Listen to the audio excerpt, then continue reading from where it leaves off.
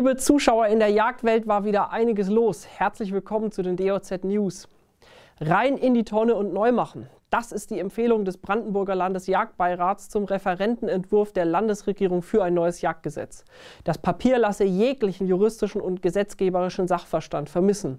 So würden Begrifflichkeiten willkürlich und widersprüchlich verwendet. Die im November 2020 unterbreiteten Vorschläge des Forums Natur seien zudem nicht berücksichtigt worden.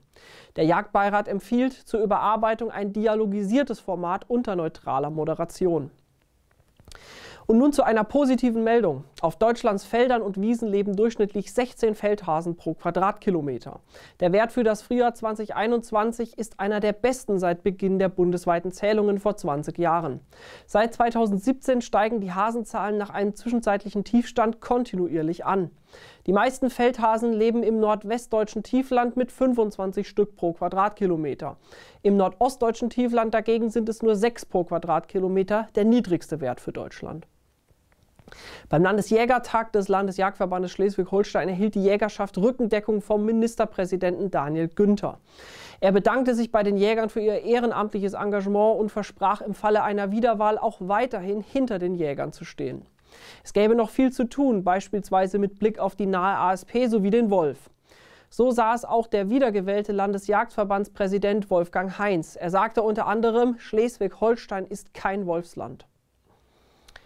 Nachdem im Oberwesterwald die Überreste eines Rehkadavers gefunden wurden, ermittelt die Polizei Rheinland-Pfalz. Das Stück war in einem Müllsack in einem Waldgebiet nahe der B8 im Bereich Hartenfelser Kopf abgelegt. Nach derzeitigem Stand der Ermittlungen geht die Polizei von Jagdwilderei aus. Der Ablagezeitpunkt wird auf Donnerstag, den 7. April bis Freitag, den 8. April 2022 eingegrenzt. Zeugen, die Hinweise geben können, werden gebeten, sich bei der Polizeiinspektion Montabaur zu melden. Auf einer Pressekonferenz haben die österreichischen Grünen dargelegt, wie sie sich den Umgang mit den Wölfen vorstellen, die zunehmend im Gebirge zu einem Problem für die Viehhaltung und den Erhalt der Almen werden. Statt sie abzuschießen, sollen sie alle besendet werden, damit man jederzeit wisse, wo sie sich gerade aufhalten. Die Grauhunde zu betäuben und ihnen dann einen Halsbandsender umzulegen, sei eine Aufgabe für die Tiroler Jägerschaft, heißt es.